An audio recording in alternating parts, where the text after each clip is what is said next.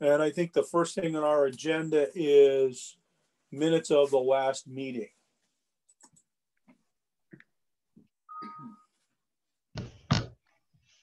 I moved, I, I moved to accept the minutes of the last meeting. Well, we did have one comment from town staff that we should include. Um, the, I, I guess the year was left off the minutes and the Oh. fact that it was done by a Zoom. Uh, those are, those are things that they felt were important to include Okay, in the, Yeah, the only, the only other thing I would ask that you take the H out of my name. There's, okay? So what are you gonna put via Zoom platform? Yeah, I'll, I'll put the uh, full date and uh, via Zoom. I assume the H is in John rather than in your last name. I'll find it and fix it. And then uh, the date. So do we have a motion with those amendments? second, so moved. A second. Who, who was that? Marion got there first, I think? Any discussion? All in favor? Aye. Aye, Aye. aye. All right, well, how come my agenda is not coming up? Trying to operate two different computers here, so. Yeah, I know. That's what I'm looking at too. All right. So all of our members are present. I don't believe we have any guests. Um, so we want to, we want to jump into the facilities this study and discuss that. I mean, John, I know that you had uh, sent an email out with some comments. Do you want to start uh, with addressing some of those comments? yeah, I, I looked, I went through it and I saw that they had uh, picked up the asbestos and the sealant around the windows. But I also was looking for, um, schools are required to maintain a report on all hazardous materials in the school building. Usually it's, it's kept by the superintendent so that anytime that any work is going on in a school, uh, people would have access to that report so they know what areas they might run into if they have to fix something or repair something. So I'm looking to see if anyone has information on if that report is done. It's supposed to be updated every three years or so. But it should, Call that report, John? hmm? What do you call that report again? it's an AHERA, A-H-E-R-A. Um, it just basically lists all the hazardous materials and where they are. For instance, if there's lead paint in certain areas, if they go to tear down a wall or do some kind of work, they have to do abatement and just be careful. But there, and you know, is there asbestos on pipes? Is there asbestos in the floor tile? That that should be a report that surveyed the school. Um, it, and I'm not sure whether whether Ashford has done that. I know we had to. do yeah, that. we, we have, I can tell you that we have, um, a guy come in every six months and then we do a three-year and then we do a five-year asbestos report. And you're right about the tile. We've been covering it over with twelve by twelve tile, but we do have nine by nine tile with a very low end of asbestos in it. And, um, as far as the rest of the building goes, there's not a whole lot of asbestos and there's no lead paint. And, um, before I worked there, I believe pipes were all taken care of, so I don't have any asbestos as any pipe wrappings or anything like that. That report we get all the time. I just had him in during Christmas vacation. He takes pictures of everything and it's a thorough report and then we do put it in the superintendent's office. Uh, we should probably see it if we're going to make recommendations. And if we, if you go to hire someone, they, they would have to have access to it. That's, so that, that was just the first part. Um, the second part is the report goes into recommending putting in um, sprinklers everywhere. And that's, that's kind of a compound issue uh, because we're not on a city water supply. I think we, the issue is you wind up having to put in a storage tank You have to put in pumps. You have to put in an emergency generator to back up the pumps to feed feed a um, any kind of sprinkler system you put in. And I thought there was a report done years ago. I can't find it. I, I know we talked about it at some point. I'm just looking for any information, but they say that an awful lot. And sprinkling the building does a lot of, it makes a lot of problems go away. Uh, but it's expensive. So I just wondering if anybody had any more information. I'm going to keep looking, but Well, I can tell you that I was on the Board of Education when the Friar report was created, and I believe uh, John Calarese, Mike Melody, and myself all walked the building uh, with the architect um, at the time when we discussed the report. And you know, one of the things that you just said, John, is exactly what uh, uh, the architect from Friar said was, you know, if, if you can sprinkler this building, it makes a lot of code compliance issues go away. And part of the issue that we learned is that if we start applying for state funding for uh, you know much of the stuff that we want to do, there are going to be re- both required code updates and required ADA updates. And uh, like I said, you know, you said the same exact words that uh, I think it was Mike from Friar Associates said was that, you know, if we could find our way to sprinkler the building, it, it does make a lot of these code compliance issues disappear. well, I, would I thi- know that there's a lot more information than that, truthfully. He did So give us a ballpark figure at that time of probably about $1.5 million. So would we do this as, at the same time we replace the roof? Would it be uh, like a, um, you know, part of the, um, uh, the roof replacement? I mean, would that make it, the, the sprinklers actually, I don't think would affect the roof at all. The roof, uh, the sprinklers actually for, on this issue, the sprink, the, the first part would be a fair amount of site work because you'd have to put in the tank, the generator and the pumps, and they would be in a separate building generally because you'd have a storage tank and stuff. Then the second part would be piping the building. Uh, there, and there's stuff that keeps getting associated with it. You know, you wind up having to update your fire alarm system to pick up the flow, the flow switches and things like that. Uh, but it, there's stuff that we could break out and have done in site work that wouldn't affect the building directly. You know, site work like putting in a, the fire pump station, that could be done completely outside. And then when school's not in session, you could put the pipes inside. Now that's, there's phasing that could happen. Uh, but uh, one of the things it does is, and you probably saw in the report that there's certain areas of the building are sprinklered. They have copper pipes and generally they're limited to eight, eight heads off a domestic water supply um, where they sprinkler certain parts of the building just because it's safer or they need to, or they have to create some other protection.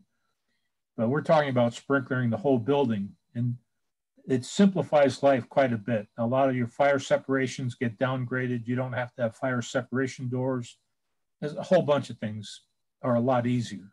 John, question with those big systems, when you have a fire or an incident that sets off one of the sprinkler heads or alarms, does the entire sprinkler system then go into action or just the No. zone that's in question? No, no, they're, they're, the, the thing is tied into flow switches that are segmented. So only certain sections report. And actually with the new fire alarm systems, they'll tell you which head went off and they could make it so it reports right down to the fire department right away. So there, you know, there's things that you would get immediate notice right away. It protects the building much at a much greater level as well as people. All right, to tie in my No. follow-up question to that, with regard to the storage tank that would be required, just how much water would it need to be? Um, uh, that's why I, I know I saw something on the tank size and I'm, because I've done so many, I'm hoping I'm not confusing it with something else I saw, but generally, you know, you wind up with a, like a couple thousand gallon tank, I recall, but I'm not sure of the exact situation here. Well, I can, I, I can tell you, we did one uh, at the Bolton High School, which was an addition and renovation as new. and that is a 30,000 gallon tank. Wow. Okay. I was gonna say, a two thousand gallon tank doesn't give you much capacity. That's about two minutes. That's about two minutes of water at really high flow rate. But uh, for a sprinkler system, that probably gives you. Uh, well, I mean, there, there are specific requirements under NFPA about how much flow you have to have for a certain number of heads for a certain period of time. So normally, this is all calculated by a fire protection engineer who's designing the system. but my my experience as a building official has been you know, th- these are very large tanks. Um, the the two that I've dealt with uh, most recently have both been in Bolton. One was the high school. The other one was uh, Simonized for their main plant, and that was also thirty thousand gallons of water. How, how, what is this Bolton High School size related to Ashford? About I think it. I think it's a bit bigger, but I don't know that it's remarkably bigger. Okay. Okay, I can tell you guys, I just had P and J sprinkler in there during Christmas vacation as well to the sprinklers that I do have in the building, I got PM'd and they need to be upgraded anyways. And they're talking in, in the range of about $26,000 to upgrade the system I already have in the building. And it's just a handful of places, closets. Um, I don't know how many heads I have. I, I'd have to, I'd have to recount, but I did make a map of where they were. And, um, you know, right now we do have a system in place that would run off my generator, um, but it's not the whole building, obviously. Right. and What I- size tank do you have? What was that? What, They're what running size? it off, they're running it off the domestic water supply, I believe. We have They- tank they are. currently. And it's in it's in storage rooms over hundred square feet, janitors closets, and things of that nature. Yeah, you, you can, you can run up to eight heads per section of a domestic water supply without being a, technically a, a fire suppression sprinkler system. They, there's exceptions to the code that allow this. But what they picked up in the report was you have to put in the full-blown uh, backflow protection, the testable backflow protection on each of those sections, rather than just the stuff we have. And that, those are like four hundred dollar valves that go in, things like that, and they get tested every six months. So you know, there's a high maintenance to those also. Mr. Right. Melly, what are they telling you that you need to do to the system for twenty six thousand dollars? Well, some of them are heads to re- be replaced, and um, there's stuff that has to be replaced. If you remember, Jim, when we did um, the core room, I had to add one in the back closet that we made for um, Right, because it was over hundred square feet. Yeah, so we added another head there. But um, I do have a map and it's posted right before you go in into the superintendent's office on where the sprinkler heads are in the building. I mean, I used to have a closet that we made into a classroom down in um, room 29A. There's a few there. They're throughout the building. There is, but it's nowhere near the whole building, Right. like John is saying. But there's a report they just sent to us. You could have access to the report of what, what needs to be repaired if you, if you, if you really want to know. um, then the other thing on the facility study, and I, I know that there are oil fired burners. Are there buried tanks? Are there above ground tanks? Are there, have they, back in the seventies, the EPA required ground tank to be registered longitude and latitude and then have a lifespan on it. And I don't know if that was done or, I have a 20,000 gallon fuel tank right now that's right outside of um, the administration office that is going to be 30 years old and the, the, um, the year to 23. And right now, me and Jen are working on trying to get a 10 year extension on it. Otherwise, that has to be replaced. I have um, kitchen runs off of a, a buried tank of propane that's in the back over by my garage. And um, other than that, there's no other tanks buried. Mr. Melly, didn't we get a, an extension once on that already?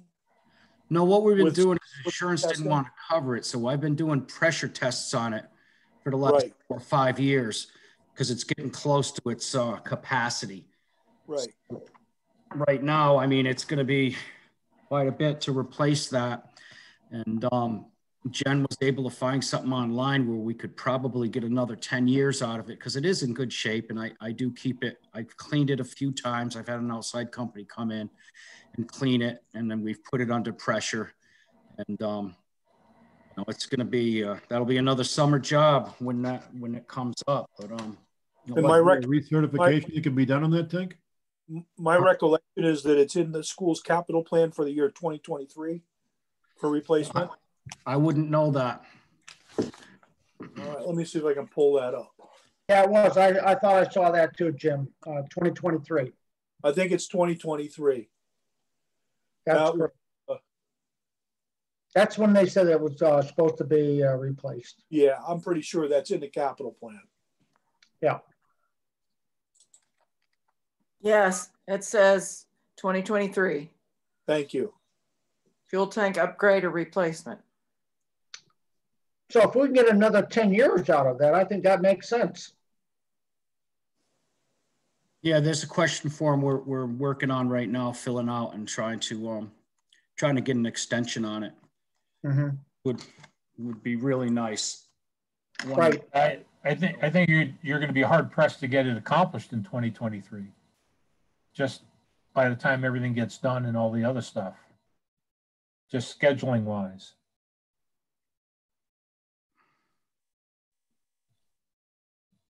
You talking about the recertification or the new tank? Um, well, I would say replacement of the tank. I- At some point, they just don't re, they don't keep extending it. This is a steel tank, fiberglass. No, it's fiberglass. It's a Owens Corning's fiberglass tank. Okay. And it's encased in, um, it's encased in concrete. That's going to be fun to take out. Oh yeah, it's gonna be something. I mean, you're gonna have a company take it out, you have a company put it back in and, um, it's gonna be very expensive. It'll Rip up the whole parking lot. Will- Willington just did fuel tanks at uh, at the Hall School. I can find out what that cost. Yeah, try to find out, cause I know it's gonna be hundreds of thousands. I don't. I don't. I, I don't think it was that much. I I want to say removing the tank and replacing the tank was like thirty thousand. Really? Well, they, they now require you to replace all the piping too, I believe. Yep, all the piping was replaced as well. It was a really short run from the tank, you know, into the building, into the boiler room, but It's the same with our situation. It's right outside the boiler room and it's, Okay.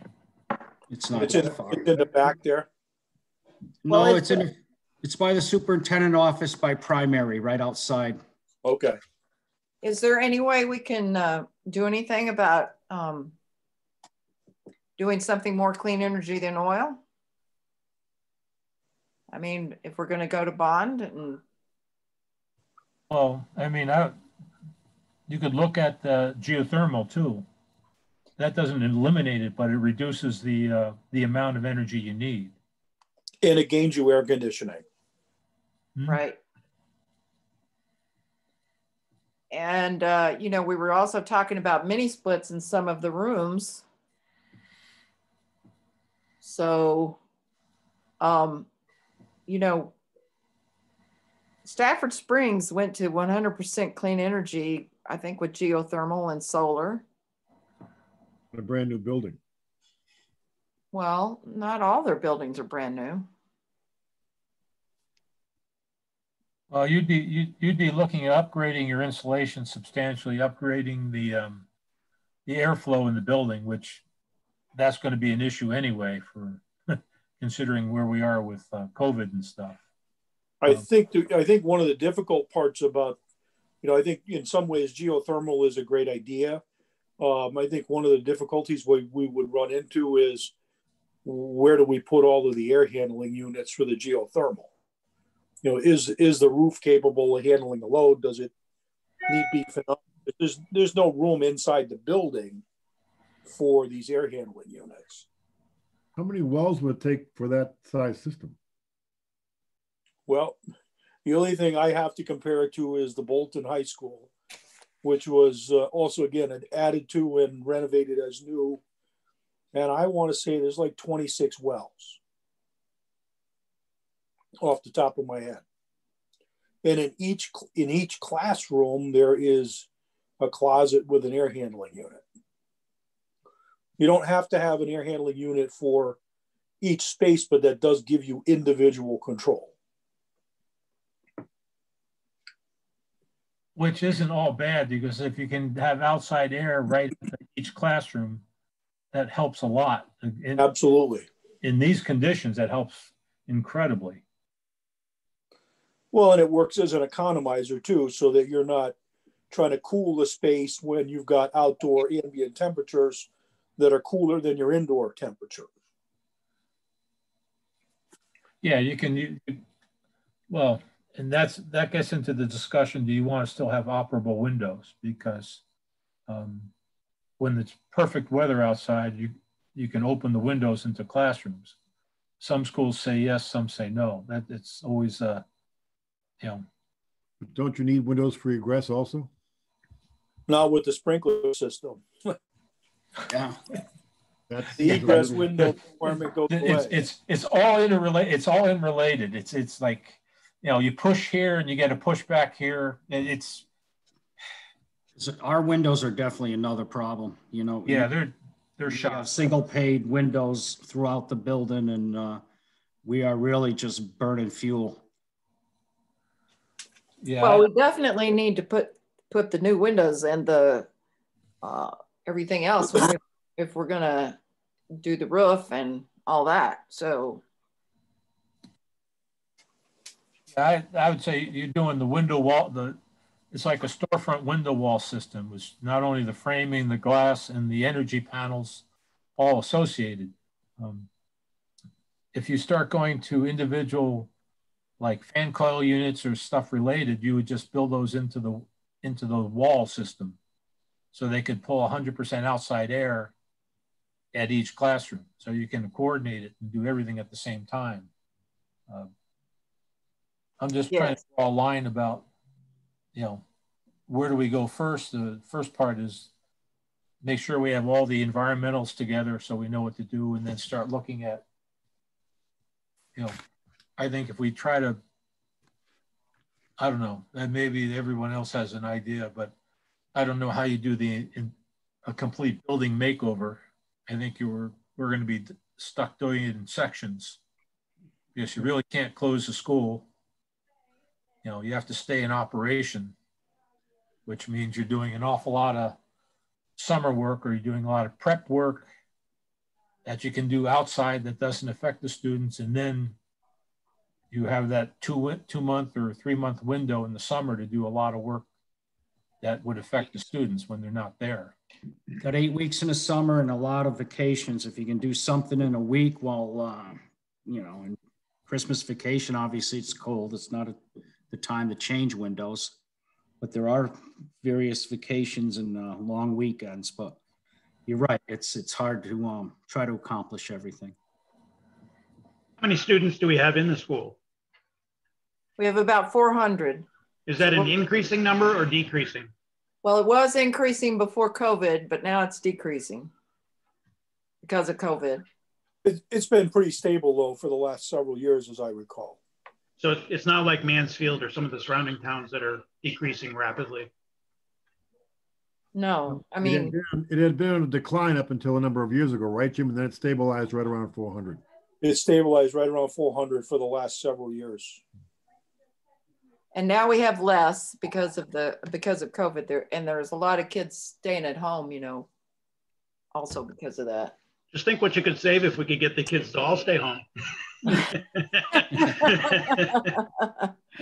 Well, with, with all due respect to the committee members I've sat with before type of meetings, this is all stuff that get, we keep rehashing and rehashing and rehashing. And to John's point, and I think to the bigger picture and objective here, shouldn't we come up with a, a, a plan that's really concrete with regard to what logically makes sense sequentially? What's going to be the best value in terms of dollars spent that works with the timing that Mike references and kind of combine that all into a kind of master plan? Yes, Because we can all talk about the wish list items we want. We can all talk about how something has to be replaced or the windows are junk, but it's not really getting us anywhere, folks. And, and I just, I just assume have some forward progress. It seems like the roof repair should be the primary thing at this point. As, lo- as long as it ties into a bigger plan and, the, and it's the right piece at the right time. Right. So I think we need windows and roof and, you know, um, solar and, because solar has to be done at the same time as the roof. And then if we're gonna, I mean, all of this stuff can be, um, I mean, I, I, I'm, I'm not completely familiar with everything, but, uh, John, I mean, if you can come up with a, how we should sequentially do this, I think we really do need to think about what exactly we want at the end of this. Well, first of all, Marion, you got to qualify. There's two Johns. There's the good looking one and then there's me. Either John, any John. But John is the architect. I mean, the other John is the architect, right? I right? defer, I defer to the good looking John as the architect. yeah. Uh, I I think we're looking at two different things. We're looking at the building shell, which is the roof, the windows. Um, but I'm, I'm, I don't want to do the windows unless we have an idea what we would be doing with the mechanical system. You know, if we need that, if we're going to have fan coil units or units in the classrooms that tie into the outside windows, we should know that ahead of time. So there's some building shell issues, uh, the roof.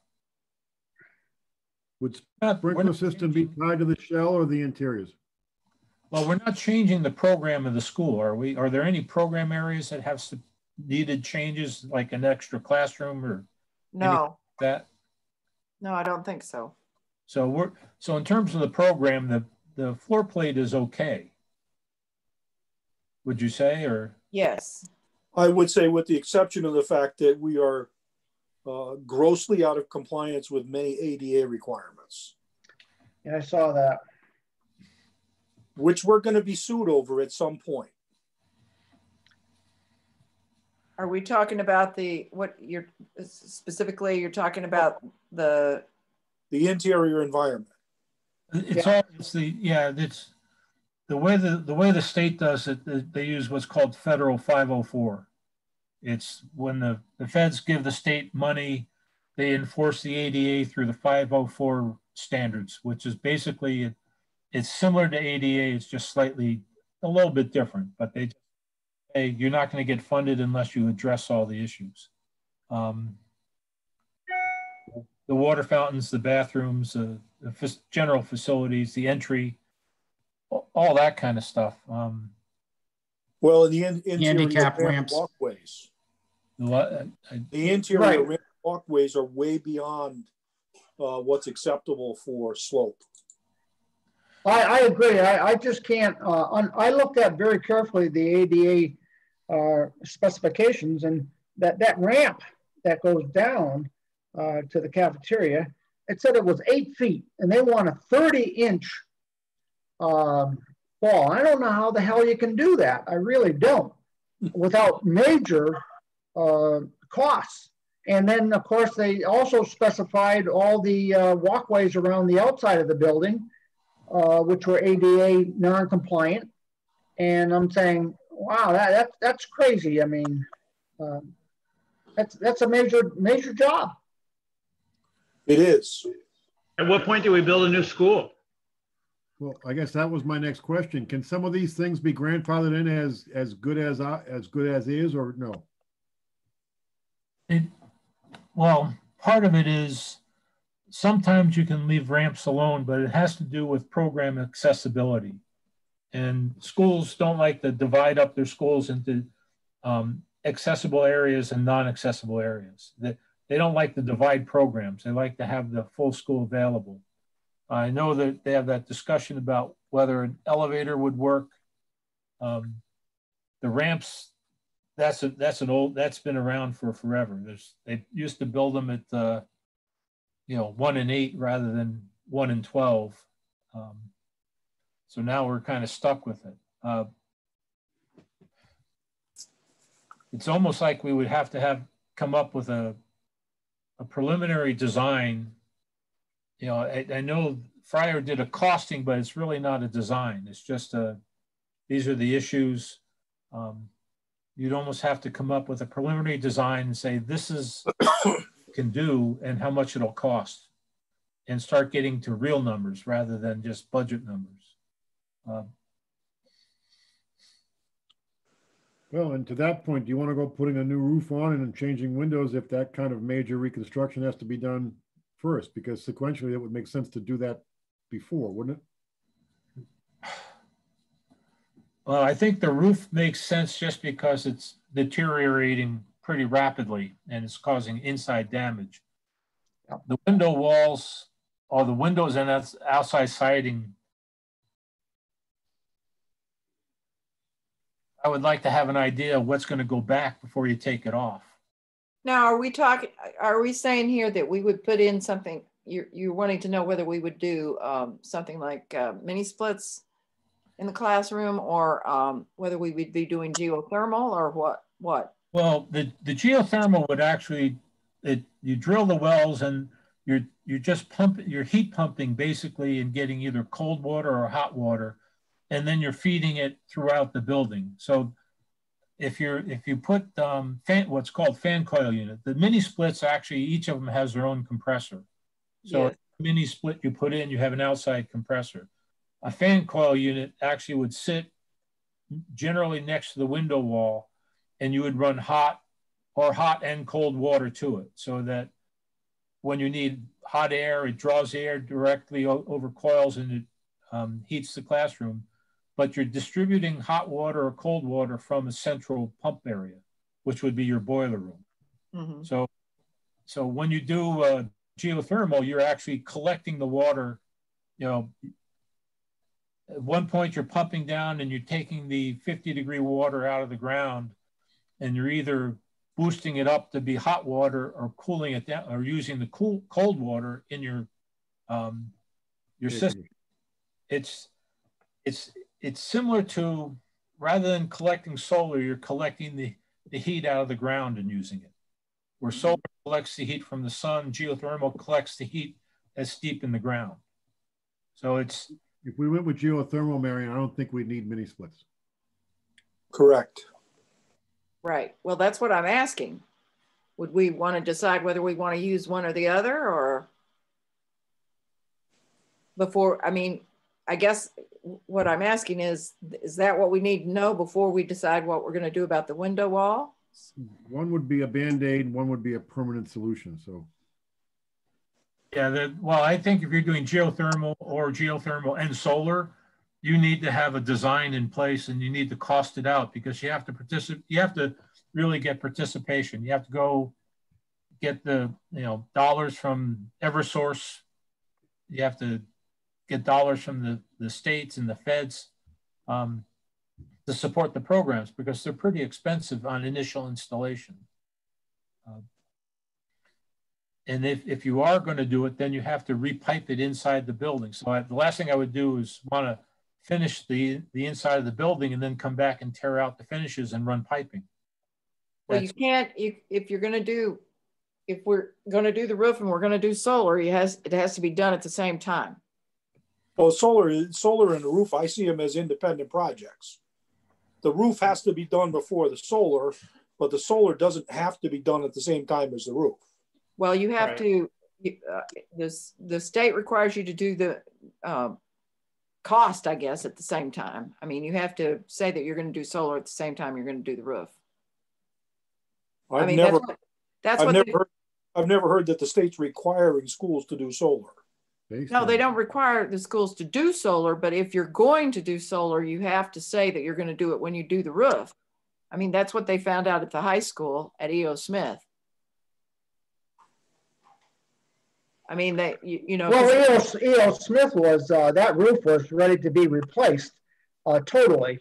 And then, uh, that was just an add-on, I believe. Yes, but they, they, it was, what, what had happened though was when they didn't, um, when Well, they they didn't don't- ask for the solar, when they asked for the roof, they had to go back very quickly and get the solar approved like immediately because the state requires you to have both of those at the same time. for some reason. I mean, when you're doing the bonding, I guess. I don't know exactly what the Well, deal it- was, it- but It, it might be that the, to get the structure to support the solar on the roof, you have to come through the roof. Yeah, That's I would correct. I would bet it's At time. so- at some point, you have to go through the roof. And what they don't want you to do is put a, a brand new roof on, and then come back and cut in and put a bunch the of, penetration. Yeah. That makes sense. so you, That's would- correct. That is correct. so you would need a preliminary design for where the supports would come through the roof and design that into the roof system, and then you could add the solar later. As long as, But that structure would have to be incorporated with the roof. That's right. yeah, the, the supports would have, That's what they did at EO Smith too. yeah, might- Put the roof on and then they put the solar on, but, uh, you know, it, Well, the, the problem was that people used to just lay the solar on top of a roof. And that's not structurally sound. I mean, you have, you have wind uplift and things like that that apply to commercial buildings. So the solar has to be as supported as any other device on the building, which means it ties back to structure. But we could, we could have them design a, a, a post system that the solar can be put on after the fact mhm. as long as we want to, as long as we're willing to say we're going to go in that direction. I think we really want to do that because I think that town members are really, um, in favor of it. Okay. Um, We could also put solar somewhere else other than a roof. There's other ways of putting panels up and. But um, we, yeah, we Do we know, do we know if any engineering has been done to determine if the roof can handle the load of a solar array? I think when I was reading through this, something that I can't remember now what, but somebody sent us something saying that part of the roof could handle the solar and part of the roof couldn't. Seemed like, Probably the, probably the newer building, which is steel framed. I'm not sure about the composite roof deck. But it, it would have to go back to the, the structural frame. They don't like to see you put anything just directly on the metal deck. Because, but I, I'll have to look at that in a little more detail, but, um, Well, to Mike Melody's point, where, Mike, on the property could we put standalone towers, if you want to call them? well, we had designed previously, the Ashford Clean Energy Task Force uh, had something planned out where they were gonna do um, solar on the, um, you know, on the parking lot as, uh, uh, you know, kind of like a, uh, what do you call it? Uh, like a shel, like a snow shelter. Yes. Like Yeah, at the Buckland Mall. Yeah, like Buckland Mall. Yeah. So that was completely planned out before, before, that's been completely planned out beforehand. So, I mean, if we didn't want to. And that wouldn't require anything on the roof at all. How much was that rebated, Marion? Well, that was actually going to be, um, see, that was before my time, actually, uh, before I was even on the Ashford Clean Energy Task Force, and it was before I was on the Board of Ed. But I think it was going to be almost uh, like uh, free. And somehow the Board of Ed decided not to do it. So when I was on the Board of Ed- Education, we were approached about putting a, a solar array on the roof of the school.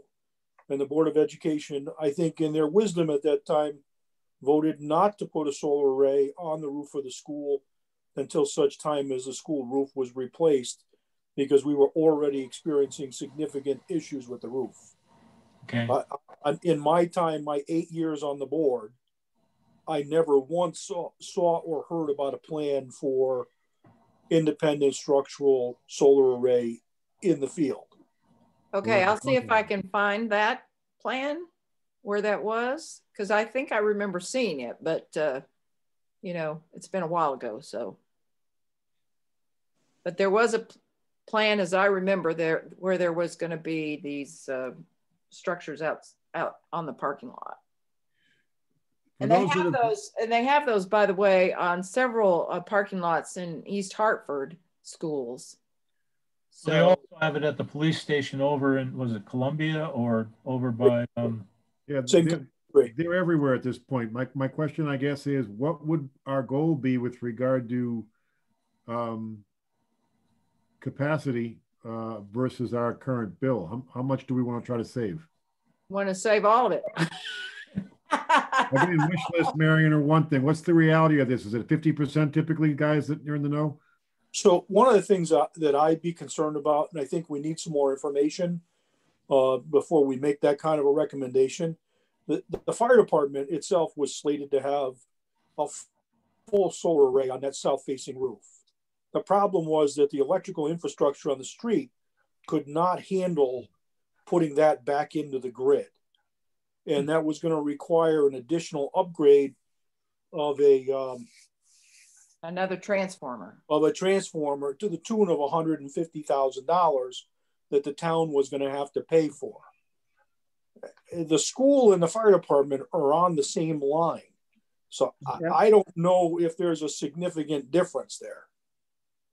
I, I don't know if there's additional cost beyond just whatever it's going to cost to put a solar array in. And that would be something I think would be important for, you know, somebody to vet out before this committee. I, look, we can make a recommendation to put solar on, you know, to the extent possible, but at some point, you know, the town or the board of finance and the board of selectmen are going to have to make decisions based on dollars and cents. And, you know, they're relying on this committee to make recommendations as to what we think is sensible. Um, Well, I did talk to um uh okay. A company that was recommended to me by um the people that came out and did the energy audit on my house.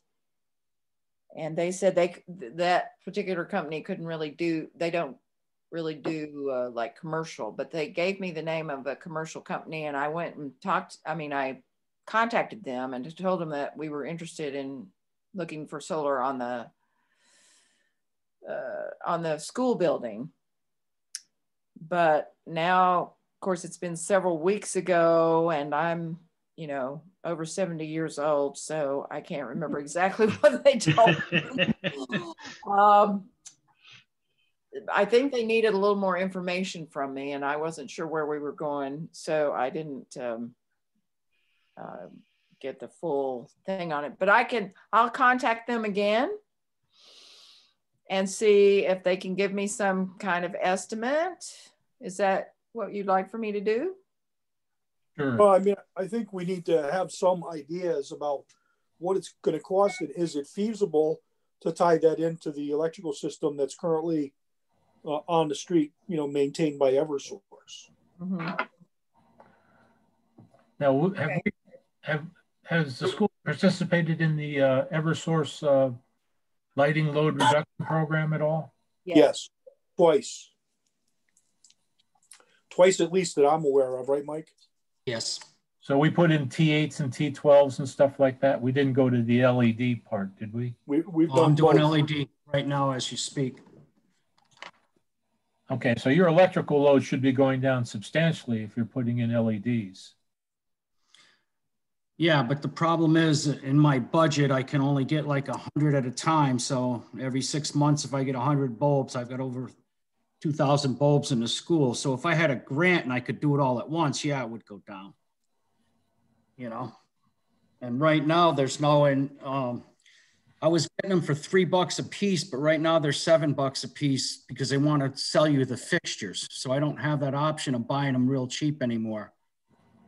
So, you know, But The there was something about the, the fixtures, you know, when we had that whole discussion several years ago about the fixtures, them being better fixtures and all that sort of thing. What, what was the? Well, what they've done is instead of four bulbs, you have two bulbs in there now. And that, that's what they changed over. That's what Eversource did to us a couple of times, what Jim's talking about. But right now, I can just swap out bulbs, but I, I just don't have the money to buy all the bulbs, you know? Mike, if you- could do me a favor and send me the, the sizes and the style bulbs you need, I've got a friend that's in that business that works for a manufacturer and uh, maybe I can call in a favor. Yeah, right now I go through my electrician, um, and he's been getting me the deals. Whenever there's a deal, he'll call me and I'll see what I have in my budget and I grab as many as I can. And I'm pretty much done with all the smaller fixtures. I have different types of bulbs in there. Like in the gym, I have T5s. Everywhere else, I have T8s. And um, I have some small T8s in the hallway that I just did Christmas vacation. Again, send me the list and what you'd need for quantities and I'll see what I can do for pricing for you, okay? As just All right. standalone bulbs, all right? All right. Very good. Now, I'm gonna, So I'm, we, I'm gonna go try to ahead, John. I'm trying to get a sense of a timeline. I actually think this is going to wind up being a couple year plan. And quite honestly, I I think you we want to try to get the roof done uh, not this summer, but the summer, the uh, spring, summer after. Get everything all set because I, I don't think you're going to go too many more years with that roof. Right. We, sh- I don't, I don't think we soon as should. And I'm, I'm just looking at by the time you, we hire, we hire a consultant, we get every, the specs all done, all the stuff added to it. That's, that's the time frame we're gonna be looking at. I just, unless someone think, I don't think we're getting anything done this summer, quite honestly. No, I mean, it seems to me like right now we should focus on, you know, the, the roof and deciding what may or may not happen with solar. Um, and that could potentially be one project. And then, you know, some of these other things could be in a, in a different package, you know, down the road. Yep. Well, don't we don't want to do the windows and the roof at the same time? Because those windows have been, I mean, they've been on our, you know, ever since I've been on the board, it's like we Well- need these windows replaced. I will tell you that by replacing the roof, you're going to save more energy than you will by replacing the windows. Because one of the things that will happen with the replacement of the roof is that you'll have to comply with the current energy code insulation value on the roof, and that'll be a continuous insulation blanket that happens over the entire surface of the roof. You'll also eliminate the problems of the noise in the classrooms and the media center when it rains Yeah, all of those all of those issues will go away with the replacement of the roof. You will save far more energy on a roof than you will on the walls. It just, that's, Well, I, I agree with that, but I'm just wondering if we shouldn't try to do, I mean, should we try to do both of those things at the same mm-hmm. time? If we're gonna go to bond, shouldn't we try to bond in as much as possible? I, I wouldn't do the windows unless you know what your mechanical system's going to be doing. Because I think, I just recall the building being very low with not a lot of headroom to run mechanicals and ductwork. So I, I think you're going to be dealing with classroom units. And if the classroom units, if the mechanical units have to be integrated with the window wall system, I'd like to know that what we're putting in can handle the, the HVAC unit. That's, you know, that's, and I don't think I don't think we're at a point where we know what the mechanical stuff is going to be like yet. I So, think That can, that could be like in smaller projects because I have primary that windows have to be replaced facing a parking lot. So if you did classrooms, odd numbers one through 11 to start with, then you're, you're killing two birds with one stone. You're upgrading your heating system through those classrooms and you're replacing those single pane windows. And then 21 through 25 is the other place I have single pane windows. So if we could break it down and do parts of the building, at least we're doing something because I've been talking about replacing those windows for 17 years myself. It's been a long time and, you know, I don't know. I think so. Even if we come up with a price and a game plan, it doesn't have to be the whole school at once. It would, you know, we would be saving money as we go, just like I'm saving as I'm changing light bulbs. But do you wanna, do you wanna try to do that this summer then, one, one side of the building? If we're not gonna do the roof this summer, we, we could wait and do the roof and then, uh, I mean, wait, wait and do the roof next year, next summer, but do, Well, the we still have to put figures on everything. We have to put everything out to bid. We have to have solid numbers. I mean, it'd be nice to do whatever we could for the school, but I think we have to do it realistically. And come up Well, with, and I think, you know, John Talgo's made the point that, you know, these things are tied to each other, they're sequential, you know, and I, I think that, you know, the question here is how, how can we plan a window replacement if we're also talking about upgrading the mechanical system and we don't know what we're gonna do with the mechanical system? Um, so how do we decide that? I, I think we know, we can hire, we can hire a consultant to design the roof replacement. I mean, that, we can do that and make sure that that gets done. Whether we have the same person, because it's different, it's basically different responsibilities. If you're gonna be doing the mechanical system, you're gonna have to have an HVAC, and an architect and an HVAC engineer. If you're doing the roof, it's really, you're gonna wind up with a structural engineer who's gonna make sure your structure's okay, but it's gonna be designed by an architect who's really certified in roof work. You know, and actually it could be could be a roof designer, but generally it's done by architects because they they handle all parts of the building. Um, I just think it's going to take a little longer. I know if you try to do windows piecemeal, it'll cost you about three times as much because one of the things that and we did whole buildings in Hartford. Um, we would do replace the entire window wall system in the summer, but that way you got a bigger um, window wall guy who could actually do the abatement, the removal, and the replacement. You didn't have to bring in multiple contractors.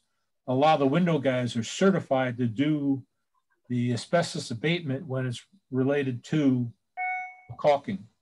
And the state has the prohibitions. You can't do any abatement while school's in session. That's unless you get a special approval from the Department of Health. And I can tell you when we took out windows that had caulking, that had asbestos in it, we had to protect the whole inside of every classroom where we were taking the windows out.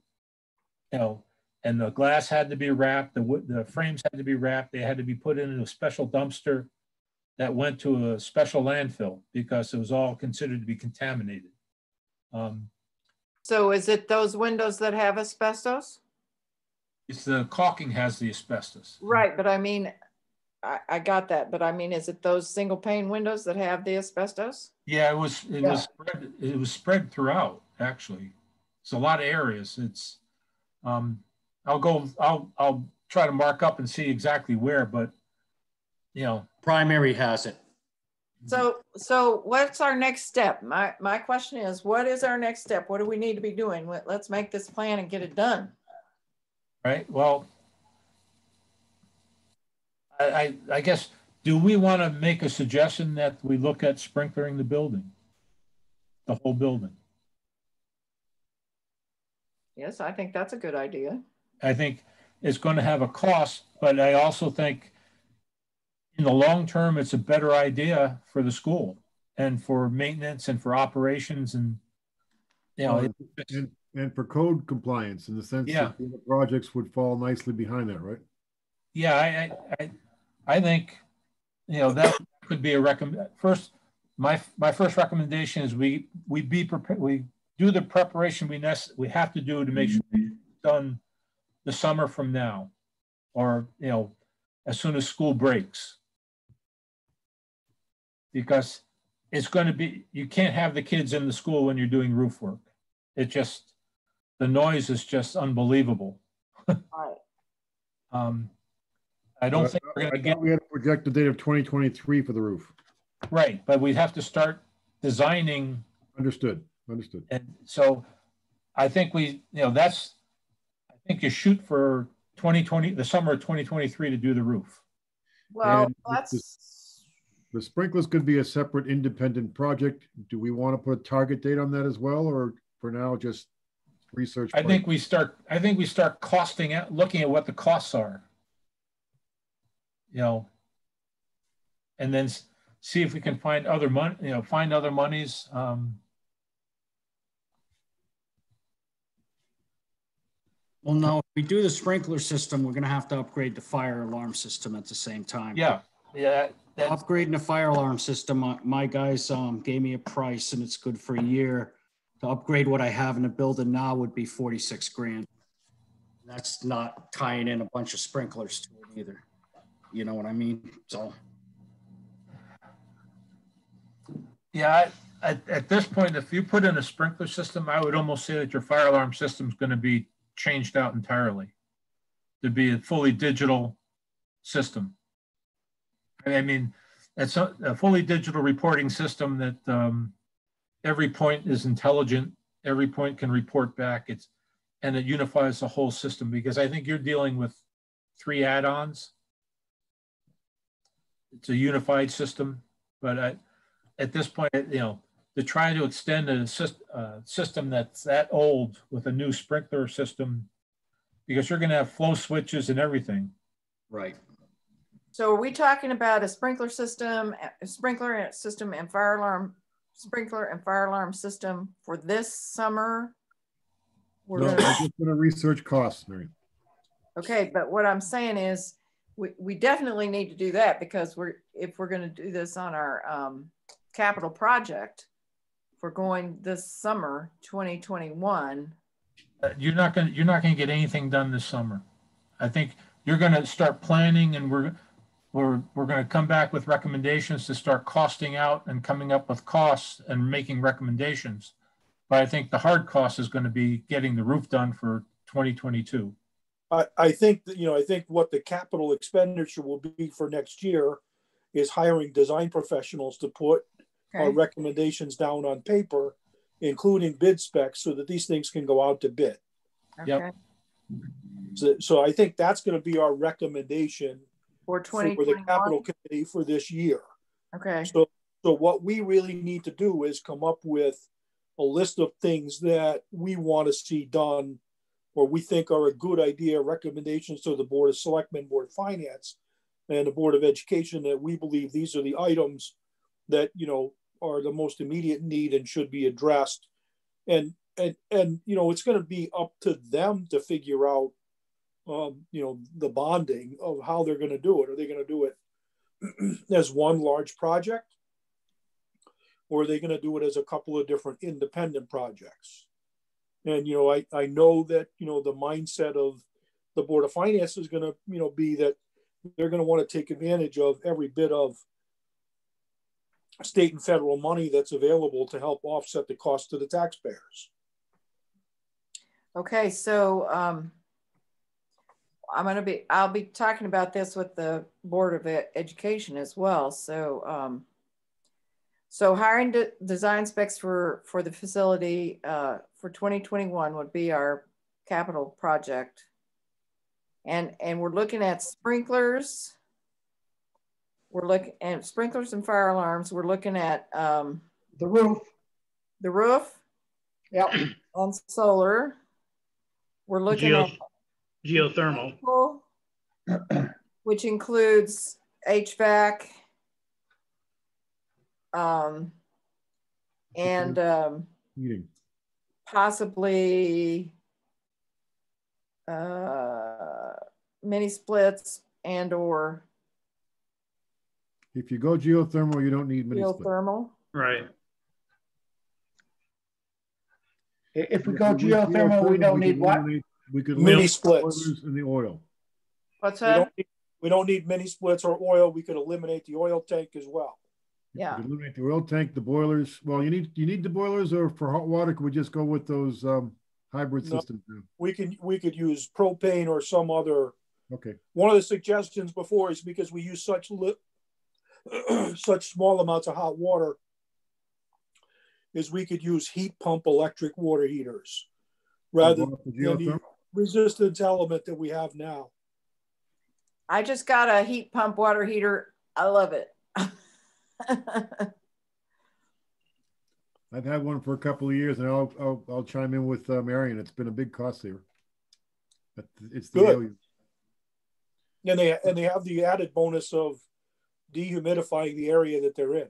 and the Yes. cellar, that per- perfect fit in my house, but uh, couldn't you, if you went with heat pumps, you'd use the geothermal system in place to help with that, wouldn't you?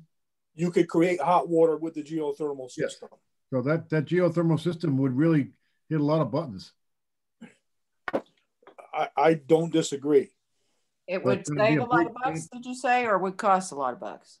It Both. would hit all the buttons we need to address, but it's gonna cost some money. Twenty-seven wells is a lot of wells. Well, again, that, again, that would have to be designed based on a lot of different factors, but um, How I deep? said it it eliminates a lot of issues. uh, Based on topography. What's that, John? Typically, how deep do you have to go to get that sweet spot for the geothermal? 300 feet? I, I don't remember any of the wells being that deep. Okay, I'm just, I'm, Um, spe- I'm speculating. I don't know for sure. That's why I'm asking. But they all have to be pretty much in the same area, right? Yeah, they, they were all in a specific area. Um, kind of grouped together, maybe 50 feet apart or something. I mean, it took up some real estate, but Ashford School definitely has the space for it. Um, I don't, I don't see that as being a huge issue. And you know, when they're done, they don't stick up above ground or anything else. It just looks like Oh, sorry. So who, who would be, uh, do you know who would be, who we would hire for this, to do these designs? Well, if you were Uh, looking for a design for a geothermal heating system, you know, you, you would hire a mechanical engineer that would do that sort of thing. There's probably firms that specialize in it. Okay. My suspicion would be there's grant money for that type of thing also, question mark? I, I don't know. I think, it- I think what happens is that the town has to expend the capital outlay for the initial design and bid specs, but if they're successfully awarded the, uh, you know, if, if they end up getting the grant money from the state, you know, you get reimbursed for at least a portion of that. Mm-hmm. I think Ashford's reimbursement rate is like sixty-seven percent, but it's something smaller than that because the building is, the square footage of the building is larger than we need for the number of students that we have. So that mm-hmm. sixty-seven percent gets kicked down to something somewhat less. But my rec- my recollection is that it wasn't a lot less than the sixty-seven percent. And Yeah. that whole calculation is based on the uh, the number of free and reduced lunches that we get. Yeah. I think what happens is we, we're going to need to hire a consultant. Um, It's going to be an architect that, or, you know, that's going to have to prepare plans and specs and hire other sub-consultants. uh, For the very simple reason that all this has to go through the state. You have to make a package submission to the state. Um, Generally, if you do a roof, you can get the roof through faster than you can get entire projects through there's a you know the state takes a long time to review stuff now you're going to have plans and specs and then you submit it and the state comes back and tells you you know you need to change this and that and this and that um, but Well, I think- I think at EO Smith, they got their roof, I mean, they got their roofs, uh, approval pretty fast, but. uh, Right. Like Right. year. they they the roofs go through really quickly the general construction projects don't because the, the thing that they actually look at the most is the um, the uh, fire safety the ada the 504 all that they look at very very closely Okay, uh, well, you know, one of the things is we've talked to the folks at Stafford Springs and at Woodstock. They both went 100% clean energy. I could talk to them about who they used for their schools. Well, I don't think our job is to recommend design professionals. I think our job is to recommend projects. Yeah. And that, and that the town, uh, you know, potentially hires a design professional firm to, uh, put, put this stuff together in a, uh package for plans and bid specs. Okay, yeah you usually we make a recommendation of what projects should be in and the town should put out an rfq for qualified design professionals Mhm. That, that have been pre-approved. by the state, right? And then once they're selected and negotiated, and then the fee is awarded, uh, they do the work and they, um, but I'm just looking at the, the estimate that Friar had put out. They were looking at, you know, they were looking at costs being spread out over 2025, and that goes back to 2019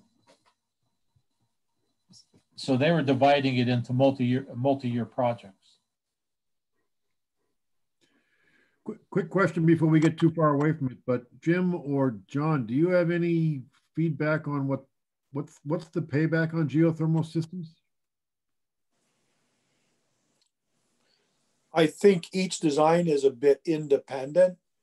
You know, and I, I think, you know, for the reasons that we talked about uh, when John T wasn't here, which was, you know, if we do geothermal, you know, we eliminate replacing boilers, we eliminate the oil tank, you know, that may push the payback for a geothermal system at Ashford School, you know, a little closer than, you know, than further down the road because you eliminate those other issues. Generally winds up being 15 to 20 years. That's, you know, that's, but a lot of that is designed for price point, you know, when they sell to people. Hmm? Um, So it could come in less. Good. Um, but I think the other part that you need to look at is, you know, what what if if we can get if we can do it and then not do an oil tank replacement. You know, you have boiler boiler burners replaced. The boilers have burners that have to be replaced or serviced. Well, that was to Jim Rupert's point, would that, that would knock off all those extra pieces of, of cost. Well, the other part would be if you do the roof and you get significant energy savings on the roof, your you know your cost goes down to start with. So you don't need as big a mechanical system. And really at the time that these buildings were designed they um, the energy calculations were very broad. Very you know they're actually generally oversized. Yes. now now they would run a hybrid uh, doe2 evaluation program on the building shell and they could tell you how much energy you're going to use and lose. And your, the, your design is much, much closer to your actual needs. So, you know, by improving the shell, we can save a lot of money and actually downsize. My guess is we would be downsizing the, uh, the HVAC system requirements. All right, so the first step is the roof. Yeah, I, Simultaneously looking at solar. And then working our way towards a geothermal quote, I guess. Yes. Yeah. I, you know, whether it would be wells or trenches, but I, you know, quite honestly, that's free energy. And the mechanical systems are becoming much, much more efficient, you know. I, I Well, think- this is what I'm gonna bring to the Board of Ed tomorrow night. That we want to hire a consultant to design the specs for the facility. Um, and to look at sprinklers and fire alarms, roof and solar, mechanical HVAC, uh, possibly mini splits or geothermal, and then heat pump water heaters. Does, does everyone have a copy of the uh, spreadsheet that was done by Friar for the costs? I don't think I have that. I do. Yep, Where, pretty out, pretty outdated. Well, no, I, I, well, in, but in terms of going down a checklist of what we would want a consultant to do, this would be a checklist and we might add to it, we might modify it, but um, if you're looking to hire a consultant, you put out what, you put out an RFQ, um, request for qual- qualifications, and then you say, this is the work that we're looking at. Um, and then we need to look at, you know, would we, and we probably should be talking to the, the Board of Finance on what they were looking for expenditures on a per year basis for the next five years. So is this all going to be one big project or is it going to be a series of five projects? I mean, part of is, you know, this is what our, you know, our cost parameters. I know we were retiring some capital projects and there was funding available, but I'd like to know what they want us to work in and then have us make the recommendations based on what their budgeting is for the capital program. I think that capital program found money would probably go towards the hiring of the consultant, if you want my opinion, but that's not a bad first step. That's got to be our first step anyway. Yeah, I mean, that- if, if, if there's extra money and we could negotiate some of it to the, the, the Ashford School, I think it might be best directed to getting the RFQs done and finding a good consultant. Well, technically you have to publish an RFQ, which is a request for qualifications and you list the work. And then No, you, I understand that, but once you figure out who that is and the town takes care of that, that money that we would find hopefully in the capital projects budget would go towards paying for that person that's selected, I think. I, my, my guess is they're gonna toss that right back over here in terms of writing up the request for qualifications. And then go through a selection process. I- Normally you put out the request for qualifications, they come back, you get a series of firms that submit, you go through and you evaluate and grade out, and then you select the best one, and then you go into a negotiation for what you want them to do. That, that's all fall, what falls under your umbrella of expertise. And all I'm saying, guys, I on that. I'm, I'm, I'm, willing to share with everybody, trust me. I, I projects commission, or committee with uh, Marion, and I'm, I'll be lobbying heavily for some of that money to go towards what we're talking about. That's all I'm saying.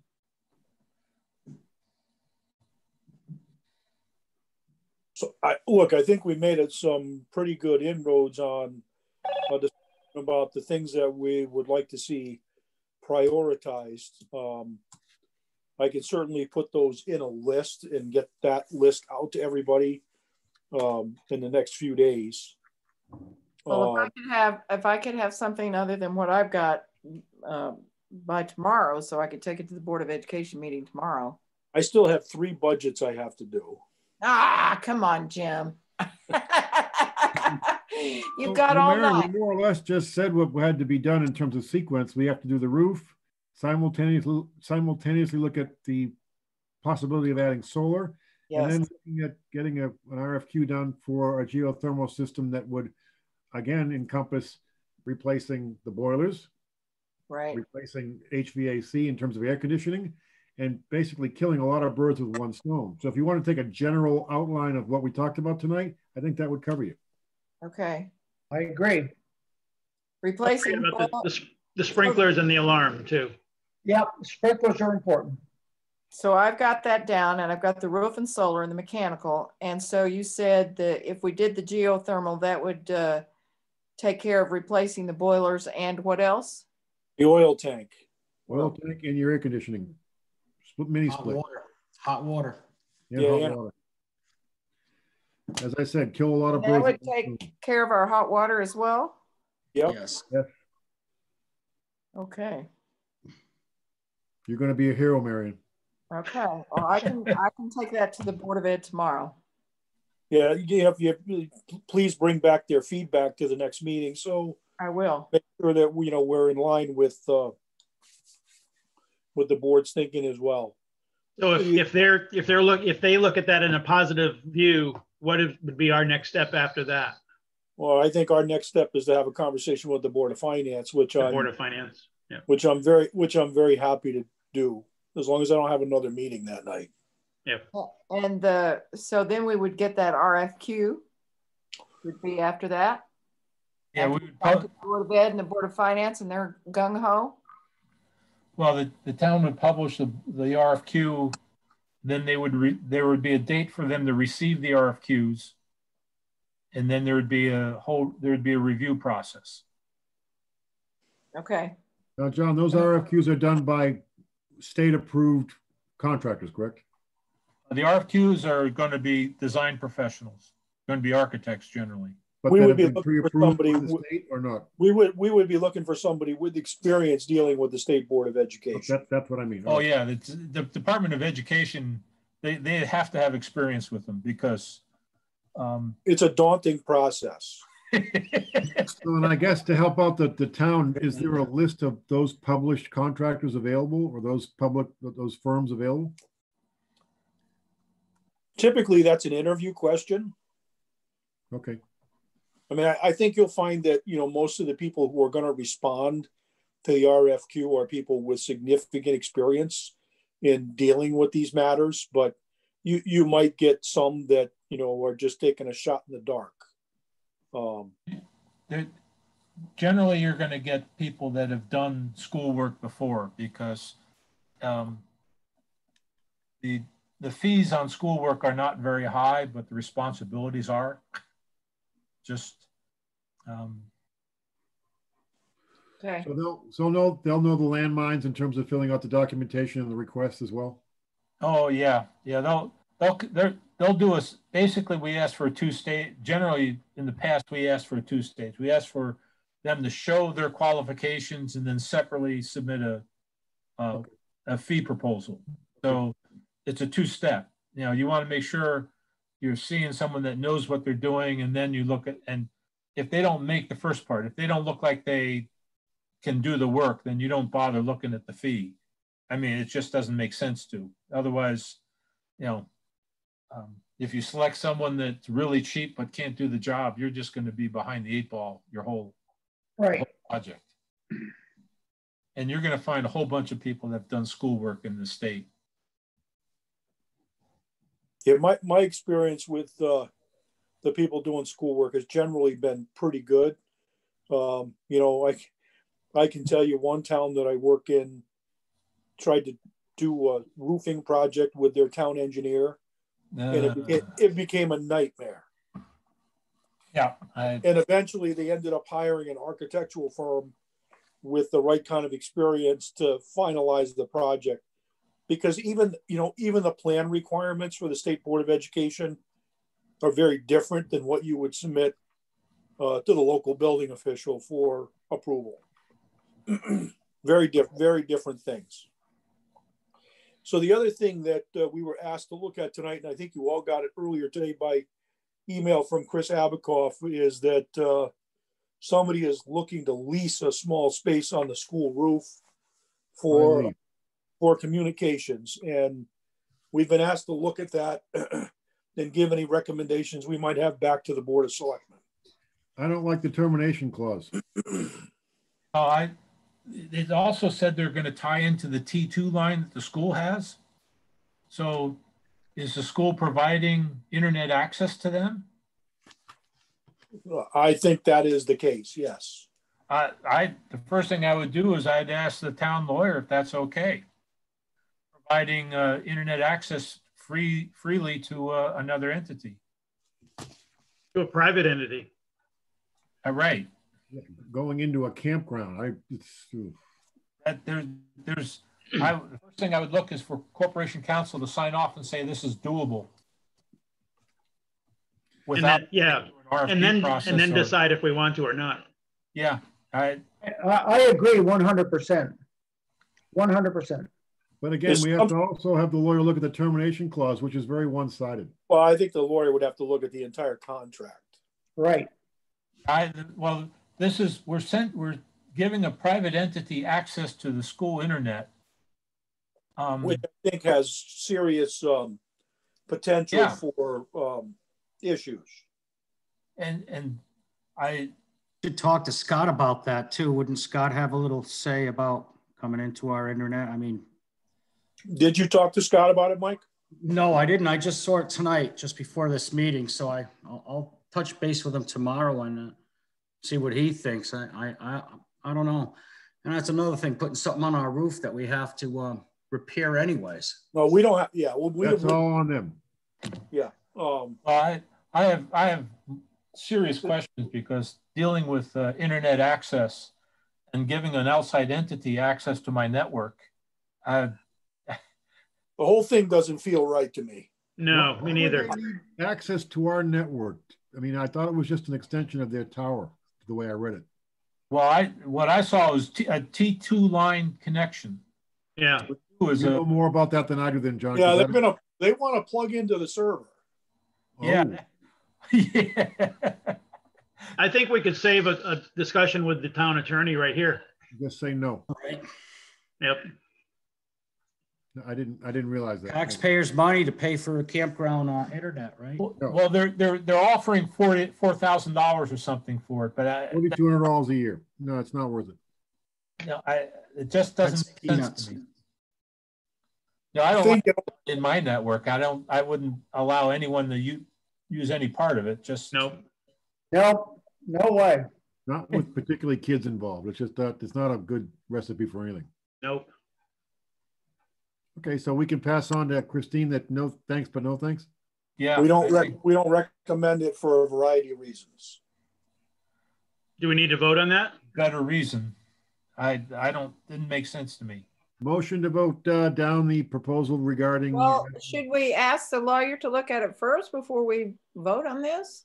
I think it's a waste of good dollars just have a lawyer look at something he's going to say no to anyway. All right. What's his billable hours? Three hundred dollars an hour three hundred? I mean, it's a lot of money to say no. Right. Motion to deny uh, the I- Brialee request. I'll second it.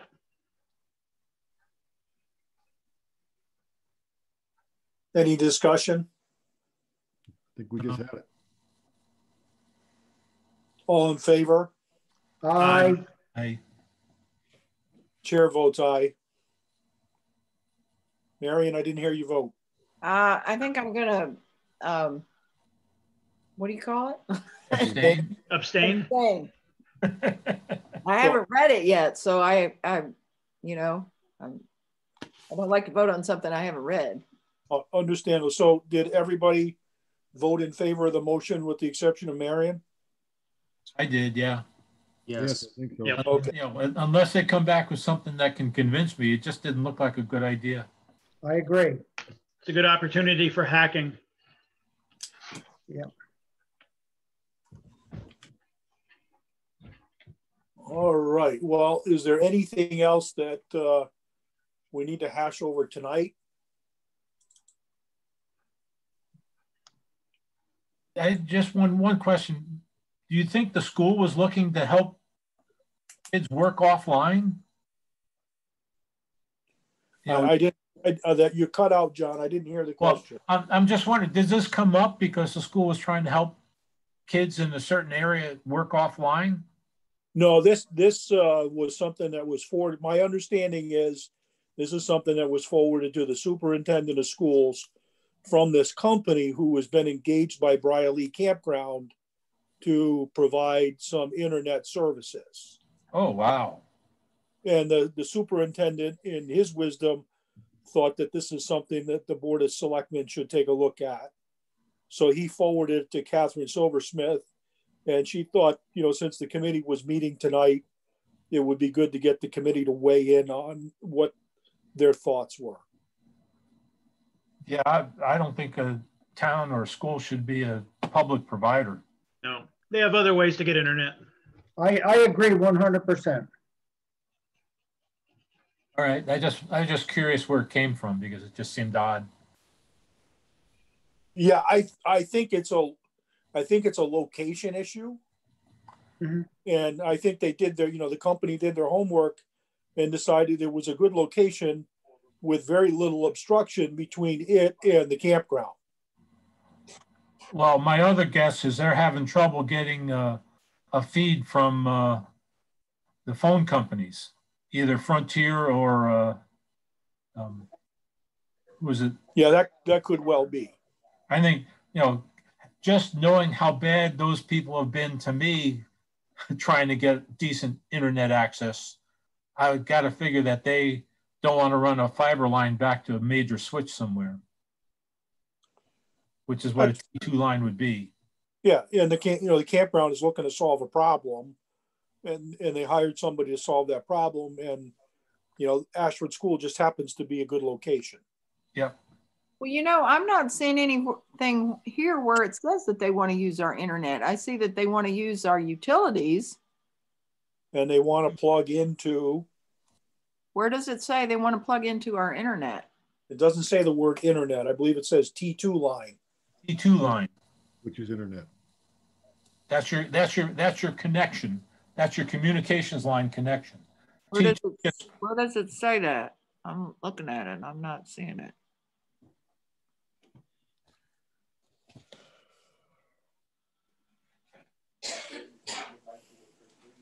Says that it requires another port in the school's IT closet. Is the way they've got it worded, Yeah, Where- but Where, which would mean that they want to connect onto our internet. Where does that say? What, what number is that? Well, it's right in the email that Christine put out. Cover note. Oh, I'm, I'm just reading the um, communication site agreement. So I didn't, guess I didn't read the internet. I mean, the email. It's in the body of her email.